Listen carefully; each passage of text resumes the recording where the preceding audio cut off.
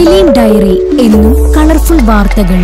കണ്ടാലും കേട്ടാലും മതിവരാത്തതെന്നും സബ്സ്ക്രൈബ് ചെയ്യൂ ഫിലിം ഡയറി. ദിലീപിന് മനസ്സിലായില്ല. തൊട്ടടുത്തുകൂടെ പോയിട്ടും നടി മന്യ പറയുകയാണ്.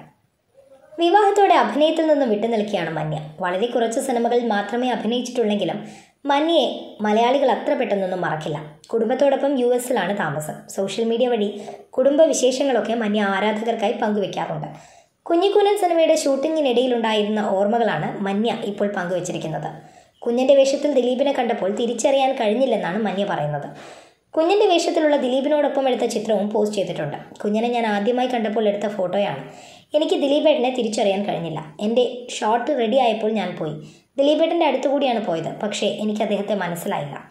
എന്റെ പേര് അദ്ദേഹം വിളിച്ചപ്പോൾ ഞാൻ തിരിഞ്ഞു നോക്കി കുഞ്ഞിനെ കണ്ടപ്പോൾ ഞാൻ ശരിക്കും ഞെട്ടി.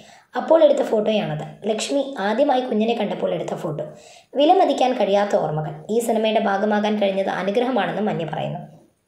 ദിലീപ് ഇരട്ട വേഷമാണ് ചിത്രത്തിൽ കൈകാര്യം ചെയ്തത്. ദിലീപ് മന്യ നവ്യ നായർ എന്നിവരായിരുന്നു മുഖ്യ വേഷത്തിൽ. ചിത്രം വൻ ഹിറ്റായിരുന്നു. മറ്റ് പല ഭാഷകളിലേക്കും റീമേക്ക് ചെയ്യപ്പെട്ടു.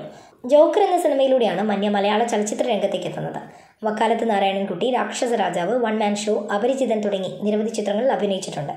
മലയാളത്തിന് പുറമെ തമിഴ് തെലുങ്ക് കന്നഡ സിനിമകളിലും അഭിനയിച്ചിട്ടുണ്ട്. നല്ല വാർത്തകൾ ഒരുക്കും ഞങ്ങൾ. നിങ്ങളുടെ ഇഷ്ടങ്ങൾ അറിഞ്ഞു തന്നെ സബ്സ്ക്രൈബ് ചെയ്ത് ഒപ്പം നിൽക്കുക.